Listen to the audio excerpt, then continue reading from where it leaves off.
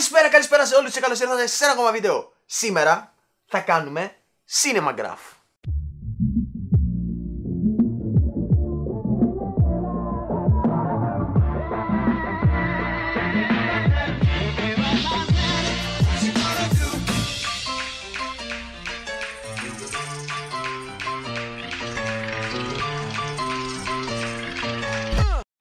Hey, Cinema Graph λοιπόν σήμερα. Τι είναι όμως πραγματικά το Cinema Graph.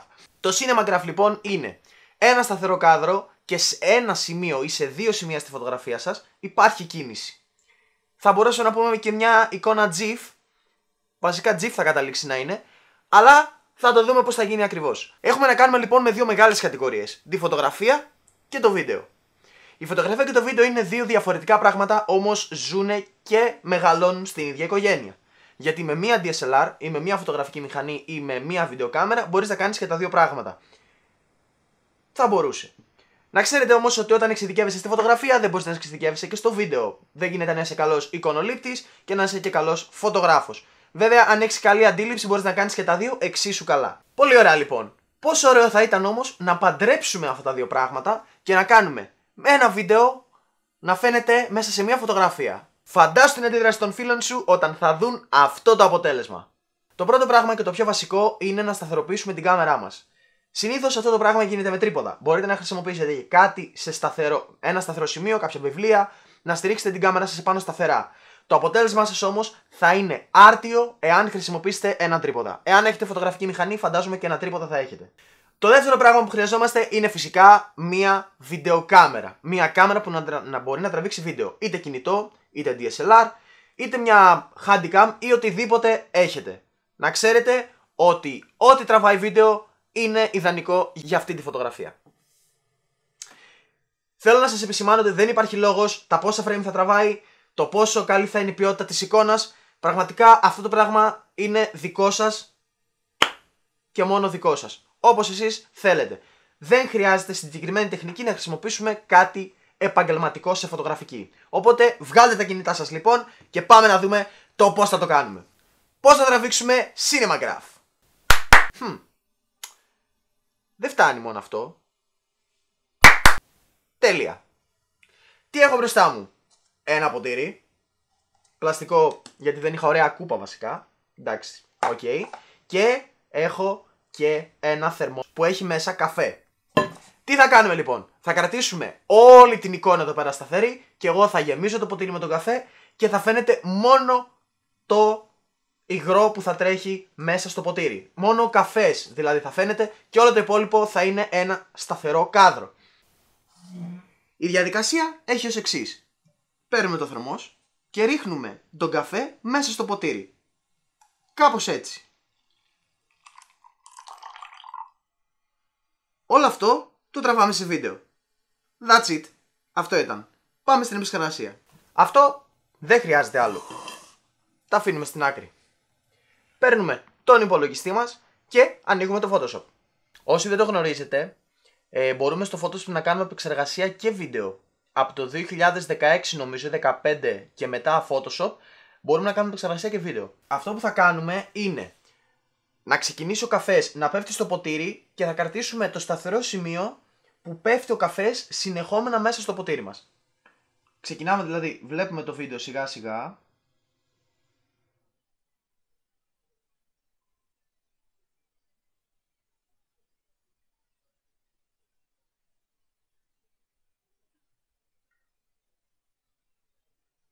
Εδώ ξεκινάει από εδώ.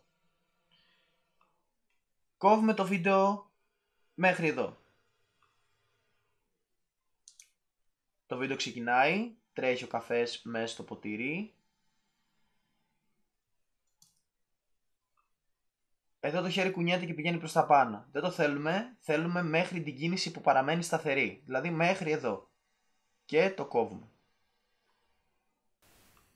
Το πάμε από την αρχή και ξαναπατάμε play. Αυτό θέλουμε. Τώρα, ερχόμαστε εδώ στο γραναζάκι, το πατάμε και πατάμε loop playback. Αυτό θα κάνει συνέχεια loop το πλάνο μας. Μόλις τελειώνει θα ξαναξεκινάει από την αρχή. Δείτε το. Απλά το πρώτο με το τελευταίο πλάνο έχει διαφορά στα frame. Βλέπετε, δηλαδή ξεκινάει και κόβει απότομα. Αυτό θα το αδιορθώσουμε. Βρίσκουμε ένα σημείο ώστε να μην διαφέρει πάρα πολύ το μπροστά το frame από το πίσω frame. Θα δυσκολευτείτε λίγο, αλλά αξίζει τον κόπο να το προσπαθήσετε πολύ για να μην φαίνεται να φαίνεται ψυχάδια στη φωτογραφία. Να μην μας δείχνει καθόλου ότι αυτό που κάνουμε είναι trick. Πατάμε spacebar και βλέπετε το πλάνο ότι διαφέρει πάρα πολύ λίγο. Τόσο που δεν θα μας πειράξει καθόλου. Ποιο είναι το αμέσως επόμενο βήμα; Πάμε να δούμε. Βρίσκουμε ένα σημείο στο οποίο να είναι αρκετά σταθερό το χέρι μας. Κάπου εδώ νομίζω είναι καλά. Και πατάμε Command, Options, Shift και Ε ή αλλιώς για υπολογιστές Windows Command, ε, συγγνώμη, Control, Alt, Shift και Ε για να κάνουμε screenshot. Πάμε λοιπόν, τα πατάμε όλα μαζί. Boom! Και έχουμε το screenshot ακριβώς που θέλουμε. Τώρα τι κάνουμε; Μετακινούμε το layer που είναι το screenshot από πάνω. Βίντεο, screenshot. Όπως έχει γίνει ακριβώς. Και το φέρνουμε στην αρχή του clip μας. Κάπως έτσι. Και το τέλος το φέρνουμε στο τέλος του clip μας. Τώρα, εγώ αν πατήσω play, αυτό θα κάνει loop συνέχεια, αλλά προφανώς δεν θα υπάρχει κίνηση γιατί το βίντεο είναι κάτω από μία JPEG φωτογραφία. Δείτε τώρα τι θα κάνουμε.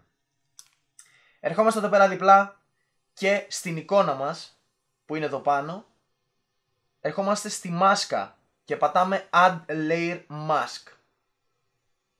Πολύ ωραία. Εδώ βλέπουμε ότι το layer σε αυτό εδώ πέρα το σημείο είναι άσπρο. Εμείς θα πάρουμε εδώ πέρα το μαύρο και θα πάρουμε την ε, βούρτσα μας, τα βανόβουρτσα ή αλλιώς όπως λέει το brush tool το Photoshop και θα έρθουμε σε αυτό το σημείο εδώ πέρα, θα κάνουμε zoom, μικραίνουμε τη βούρτσα μας από εδώ και ερχόμαστε και ζωγραφίζουμε στο σημείο αυτό εδώ που είναι ο καφές. Και κάνουμε zoom out και βλέπετε το αποτέλεσμα που έχουμε βγάλει. Υπάρχει κίνηση στη φωτογραφία μας αλλά το κάδρο είναι σταθερό. Κινείται μόνο το σημείο που θέλουμε. Είναι λίγο περίεργο να το βλέπεις. Λοιπόν, νομίζω είναι αρκετά καλή. Ε, τι λέτε κι εσείς; Πάμε τώρα στη διαδικασία της αποθήκευσης. Γιατί είναι πολύ σημαντικό να την αποθηκεύσουμε για την Instagram και να την ανεβάσουμε στα κοινωνικά μας δίκτυα. Πώς την αποθηκεύουμε όμως, Πάμε να δούμε γιατί είναι διαδικασία λίγο κάπως περίεργη. Είτε θα την αποθηκεύσετε πηγαίνοντας στο File Export As και θα την κάνετε Web Legacy. Ή απλά θα πατήσετε Command, Options, Shift και S. Ή για τα Windows Command, συγγνώμη, Control Alt Shift και S. Πάμε λοιπόν. Παπ, παπ, παπ. Boom!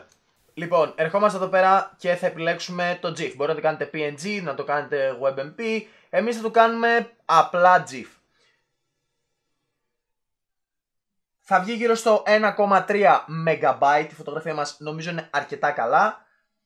Και εδώ πέρα που λέει Looping Options, εδώ πέρα κάτω χαμηλά, θα πατήσετε Forever. Οπότε να κάνει looping συνέχεια. Συνέχεια. Forever and ever. Again and again. Και μόλις τελειώσουμε με τη διαδικασία πατάμε πολύ απλά save. Και μας βγάζει που θα τα αποθηκεύσουμε. Και εμείς θα πατήσουμε coffee κάτω παύλα move. Νομίζω είναι καλά. Coffee move. Εγώ θα τα αποθηκεύσω στην εμφάνεια και θα πατήσω save. Να ξέρετε ότι το GIF θα σας καθυστερήσει λίγο στην αποθήκευση. Ελάχιστα, απλά ε, επειδή διαμορφώνει την εικόνα ως βίντεο, φωτογραφία βίντεο. Τέλος πάντων, λίγο θα καθυστερήσει, μην αγχώνεστε καθόλου. Εξαρτάται βέβαια από τον υπολογιστή που έχετε. Είναι έτοιμο. Πάμε να το δούμε. Μπούμε! Πόσο τέλειο είναι το αποτέλεσμα. Ε, έχω θα κάψετε πολλούς εγκεφάλους, να ξέρετε με αυτό εδώ πέρα το αποτέλεσμα. Είναι πραγματικά τέλειο. Και έρχεται δυναμικό comeback. Επέστρεψα και κάθε Δευτέρα θα έχεις καινούριο βίντεο. Πώς φαίνεται; Ε, ε, πώς φαίνεται; Μην ξεχάσεις να κάνεις ένα δυνατό like. Να πατήσεις το κουμπί του subscribe και... Και... Θα τα πούμε στο επόμενο βίντεο.